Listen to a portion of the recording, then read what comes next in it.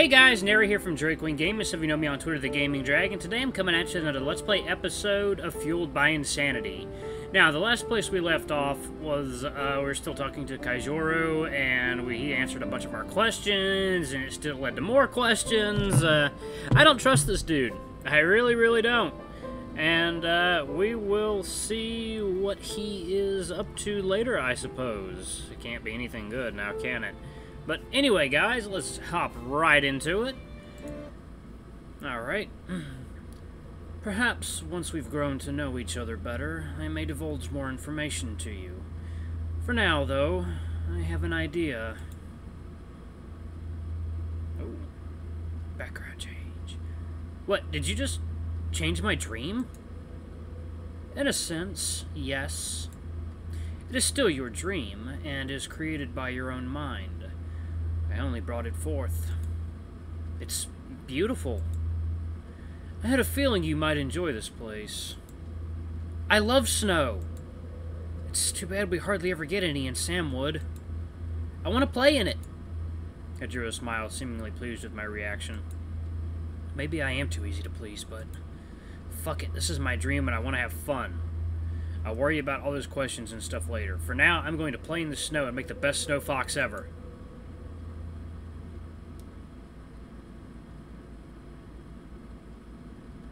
Ugh, morning. I was having such a good dream, too.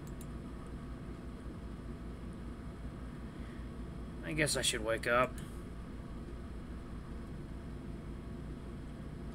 I slowly open my eyes to find the light still off, though the sun is shining in from behind the partition. Leave it to Darren to use an old partition instead of curtains. I continue lying in bed, too lazy to want to get up just yet. I swear, I feel something familiar, and it takes a while before I fully realize. I tug on my tail, only to find out that it won't budge. Ted's holding my tail again, isn't he? I look over my shoulder and see him asleep, my tail in his arms with his head resting against it. I'm tempted to leave him alone and let him continue sleeping, but at the same time, I'd like to get up. He stayed up later than me, so there's no telling how long it'll take until he wakes up. Psst. Ted. No response. A silly idea pops into my head as I gaze at him sleeping peacefully. Hmm, I wonder. I grab hold of his left ear and hold it down, only to let go and watch it spring back into its usual position.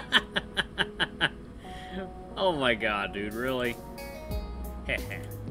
I repeat the action, laughing quietly to myself as I do. I think that dream about playing in the snow must have put me in a silly mood because right now, this seems like peak entertainment. I mess with his ear a third time, which causes him to let go of my tail and swap my hand away. Only for him to go right back to holding onto my tail again. So, of course, I do the same action a fourth time, except this time I keep his ear held down to see how long it takes for him to stop me. I expected him to swat at me again, but instead he opens his eyes, an unamused expression on his face as he does.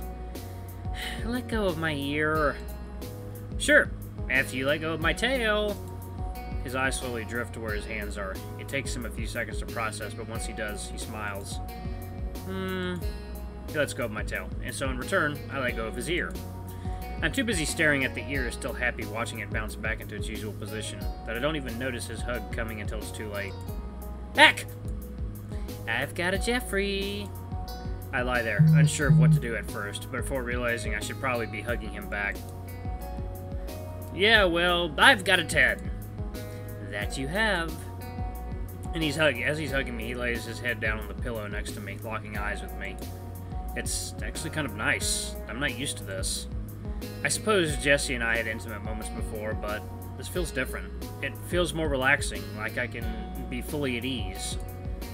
Your eyes are blue. Yes, yes they are. I've not actually paid attention until now. Wow, you like me, yet you didn't even notice what color my eyes were? Hey, it's not that bad of a thing, is it?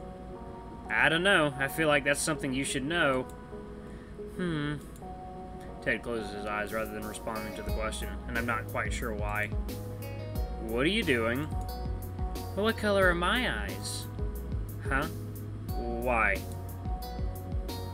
I'm just curious if you're any better at this than me. Tell me my eye color. Uh, crap, I don't actually remember. If I guess wrong, I'm going to look like a hypocrite. Uh, but Ah, I should have given us multiple choice. It, but blue? Ted now opens his eyes back up, a smug expression on his face. Fuck, I was wrong, wasn't I? Green. Looks like you suck at this too. yeah, well. Hmm? You're cute. Oh? He said oh. How do I reply to just oh? Yeah. What makes me cute? I don't know. You just are. Ted chuckles and sticks his tongue out at me, which only makes me feel even more bashful. I'm blushing. I'm pretty sure I'm blushing. I'm not even good. I'm not even doing good at flirting, but mm, he's not judging me for it at least. I like how you're the one getting flustered from calling me cute. what? No, I'm not. Ted pokes his nose, pokes my nose and sticks his tongue out at me, which only causes me to pick up my pail and put it over my head to hide my face. Why is he so good at getting me this bashful? I can't even say anything now. Duh, you're hiding your face again. I grumble, unable to say anything coherent at this point. I'll be nice and stop teasing you so you can wake up. I'm able to hear Ted as he gets off the bed, loudly yawning. Besides, I've got stuff to do today. I lower my pillow upon hearing that, curious as to what he says. Curious as to what he means. Ooh, excuse me, guys. Huh? What are you doing today? I'm hanging out with Marshall. He should be coming around this morning to pick me up. You are? Oh. Is something wrong? I feel a twinge of jealousy when he tells me this, which I immediately feel guilty about. I should be happy that he's spending time with more than just Darren and me. He's my friend after all. it's just like that. It's just like with Sean. I really hope I don't screw stuff up and say something dumb. Nah, you're making more friends. I'm happy for you. I force the words out, trying my best to not give off any sign that I'm feeling unreasonably upset. I can tell by Ted's expression that he isn't convinced, but I don't particularly want to talk about it either. It's a me issue. He doesn't he shouldn't have to worry about me being dumb. You know, if you want, you can come with me. You sure?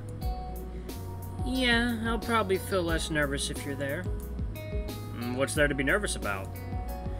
I don't uh, really know him much, and I'm not the best at making and keeping friends. I'm worried I'll screw stuff up somehow. Hmm. I could go with him, or I could stay home. Ted is nice, but so is home. I'm going with him. I'll go with you. Woohoo! What are you guys planning on doing anyway? no clue. He's got such a confident smile when he says it that reminds me of myself. It's what I do when I'm clueless, after all. Sounds like a fun plan. Hold up, guys. One second. Alright, sorry about that. Sounds like a fun plan.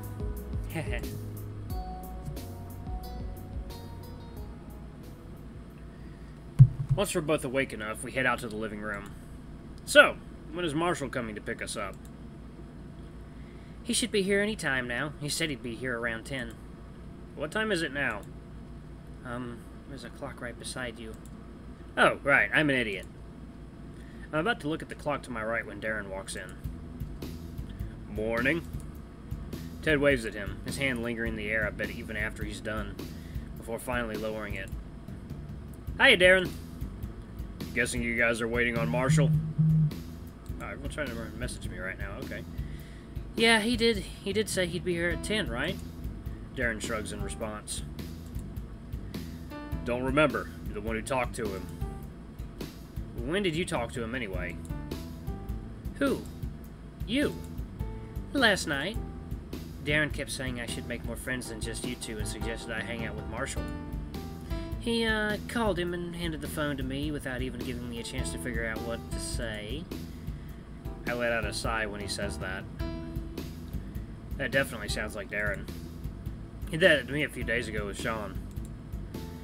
It worked, didn't it? That's not the point. It feels awkward as hell to have someone throw you into a conversation you weren't prepared for. Eh, you can afford to be more social. I'm not too happy with how dismissive he's being about it, because it is something that bothers me, but I also don't know what to say either. I feel like if I try to argue with him right now in front of Ted, I'll end up getting angry and cussing him out or something like that. I don't really want Ted to, Ted to see that side of me. Then again, I should probably I should probably work on avoiding stuff like that anyway, regardless of who's around to see it. Before I can dwell on it for too long, someone knocks at the door. Oh, I think that's Marshall. Ted wastes no time in scurrying off to the open door. Darren shortly follows. In the meantime, I make my way over to the couch to lie down, figuring Marshall will probably come in have to come in for a while. I may as well claim my spot on the couch while I still can. Hi, Marshall. Hello, sir. Come on in. The three head back into the living room, and I wave at Marshall as soon as I see him. He waves back. Hi, Jeffrey. For a brief moment, I was worried he was about to call me by my real name instead of Jeffrey. Shouldn't have been worried, since he was doing a good job of remembering my new name in the last the last time we met up.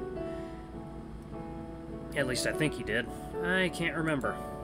The worst that could have happened would have been him calling me Candle again, so I'm not sure why I was worried about it. Then again, I did get called by my real name in my dream last night, and maybe that's why I'm uneasy about it. Yo, Jeffrey. Should probably sit up and make room. I snap out of my thoughts and realize everyone else is still standing, and that Darren is right. Oh, yeah, uh, sorry.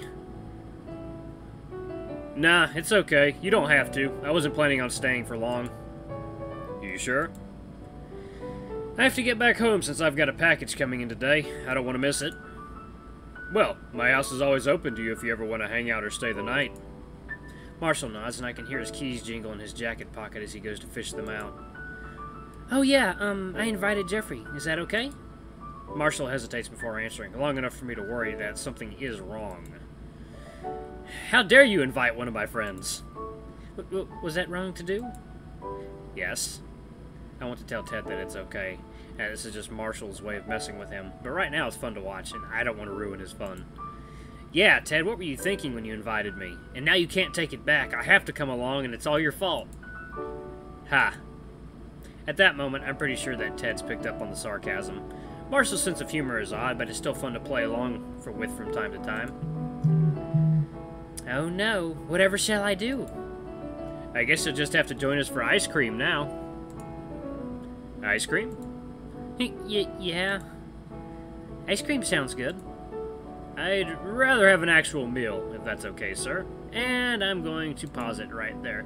Thank you guys so much for watching. This has been a new episode of Fueled by Insanity. Don't forget to watch my other videos on Psychic Connections, Dawn Chorus, and Echo. Those are pretty popular. But anyway, guys, thank you so much for watching. I'll see you in the next video. Bye-bye!